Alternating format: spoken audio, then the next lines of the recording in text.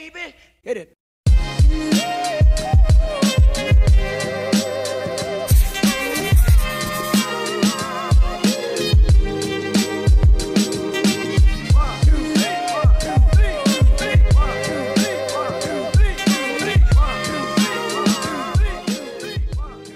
What's going on everyone, welcome back to another video. We're working on the Suzuki Swift and we're going to do a quick service. Now on the service I'm going to do the air filter, oil filter and oil and um, yeah just give it a little once over. But first I want to, um, it's been a while since I've done a video so first I want to have a quick look at you know who's commented on my previous videos and give them a shout out. So we are well on our way to 3,000 subscribers. We're just about to touch 2,900 which is awesome. Um, do want to give a few shout outs to Jap Junk, um, there's also a Scotland Joss and another couple here. Let me have a look. I didn't do a shout out for the past two videos. And if you can't guess, I am actually putting off working on the car at the moment. Simply because it's 4 degrees C. 4 degrees C in Fahrenheit, I think it's 38, 39 Fahrenheit. Not nice.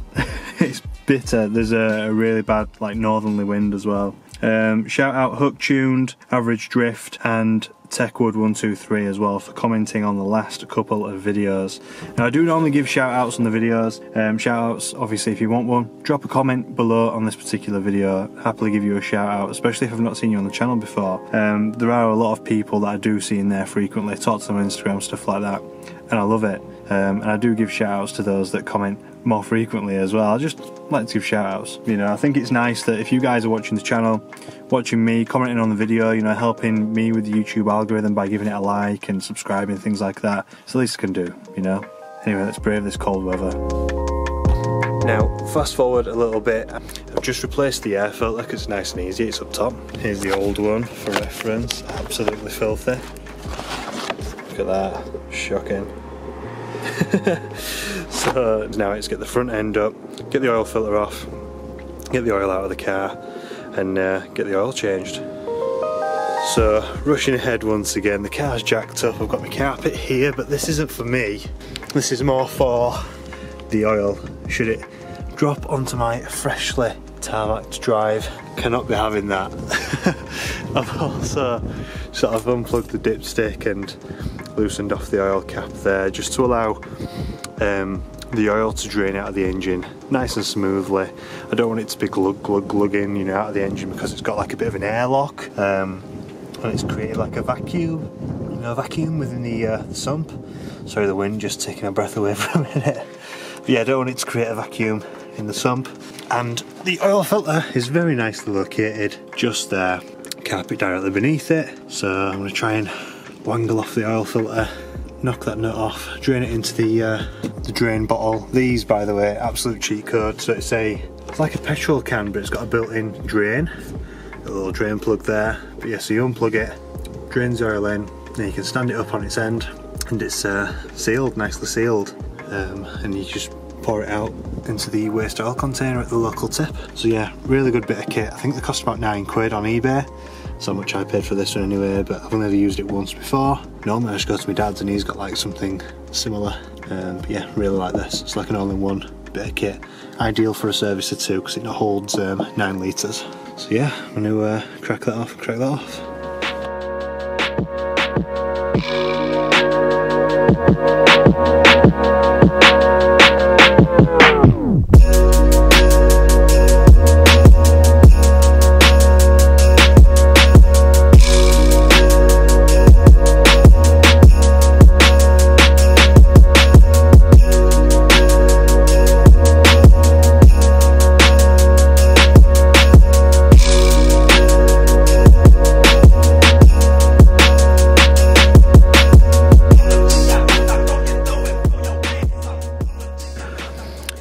Everything's tight, the new oil filter is on, the sump plug's tight.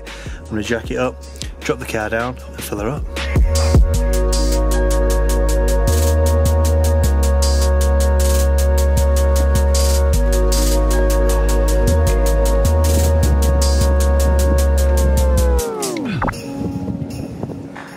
Swift's done. I've also sort of jetted down the uh, the driveway just to be doubly sure that there's no excess oil left on the drive, you know, just to be safe. It's a freshly tarmac drive, and I don't want to I don't want to have to retarmac my drive at the cost of three grand or whatever the hell it was. So as you saw, I've given the driveway a quick jet wash um, I say jet wash, I just sprinkled over some washing up liquid and used the hose pipe, you know.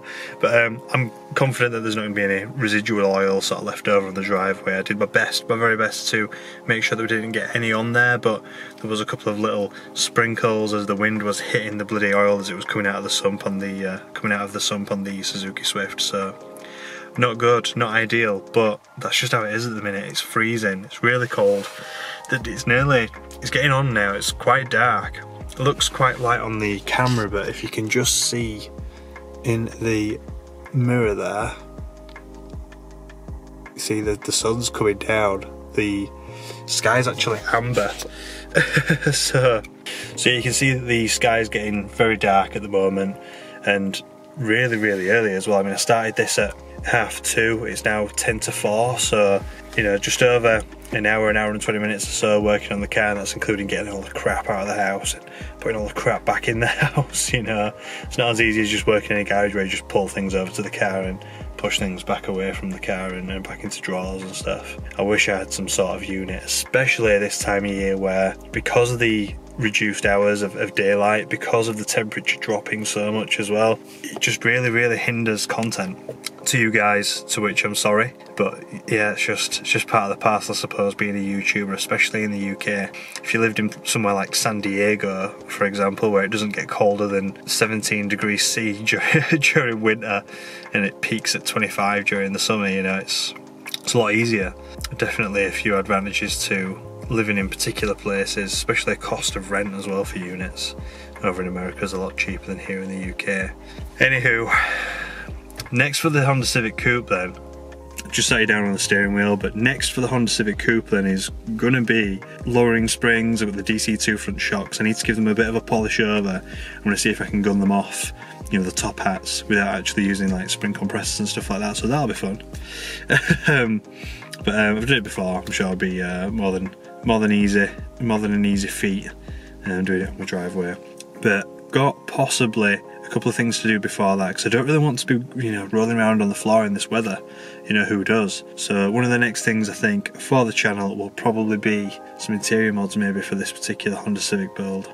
So that's it for this one. I'm going to wrap this particular video up. Over here though, to my side are a couple of playlists. If you want to check out more videos on the channel, please consider doing so. Hit subscribe beneath me if you haven't done so already, and click the bell button as well so that you're notified of my uploads, because if not, they just disappear. Um, nobody gets told about them, apart from those people that hit the bell. So hit the bell, hit like as well, because it does really, really help the YouTube algorithm.